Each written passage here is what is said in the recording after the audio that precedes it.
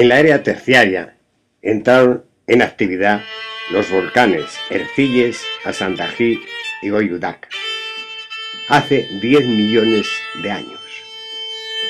Las erupciones de estos volcanes, junto con las de otros tantos, duraron hasta hoy. Las lavas expulsadas por los volcanes formaron un estrato de toba de dureza variada de entre 100 a 150 metros de espesor, sobre las planicies, sobre los lagos y accidentes fluviales. No había toba, había también piroclastos geológicos como tucita, laquilli, cenizas de cal y basalto. Esta capa cambió con el tiempo, constantemente a consecuencia de otros volcanes secundarios. La erupción causada por el agua del río Kizimacac, lagos y otros accidentes fluviales en la capa de Toba fueron modelando el paisaje hasta formar las actuales estructuras.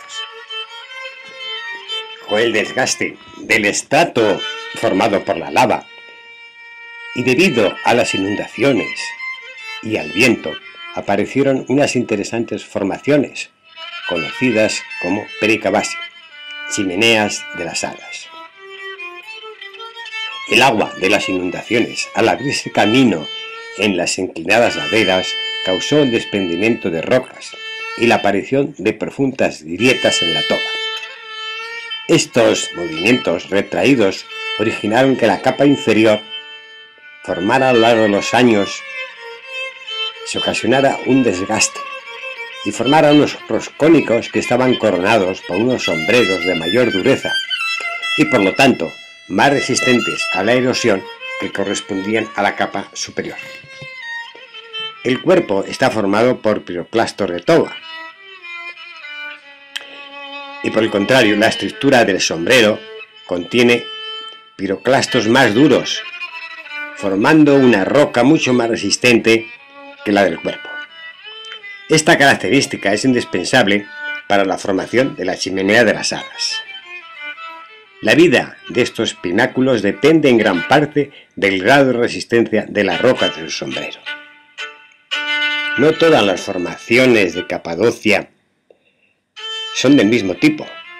Aparte de las citadas, hay otras en forma de champiñón, columnas o de formas puntiagudas. Las chimeneas de las hadas se hallan principalmente en, Capadocia. Los pliegues fueron formados por el efecto de la erosión del agua de las lluvias en las laderas de los valles y añaden, aparte de las chimeneas de las hadas, una característica de la zona en su morfología, la armonía de colores que se aprecia en algunas laderas se debe a la diferencia de temperatura de las capas de lava. Estas formaciones se encuentran también en los valles cercanos. Ahora, beneficiémonos de la observación de tal maravilla.